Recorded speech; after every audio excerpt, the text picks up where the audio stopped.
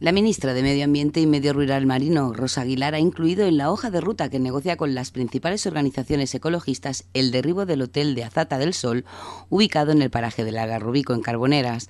El Ministerio y los ecologistas negocian permanentemente este documento con unas reivindicaciones que cuando Aguilar llegó al Gobierno ya se comprometió a abordar con los ecologistas. En el mismo ya hay muchas cosas avanzadas, por lo que se prevé llegar a un acuerdo cuanto antes, aseveran desde el Departamento de Medio Ambiente. Así, uno de los temas que incluye el texto es eliminar de la costa almeriense el esqueleto de hormigón del hotel. Aguilar pretende pactar con las organizaciones ecologistas y desea que el acuerdo que se logre ostente un largo alcance. Entre otras medidas, se estudia un plan para reducir los altos niveles de contaminación ambiental en las grandes ciudades.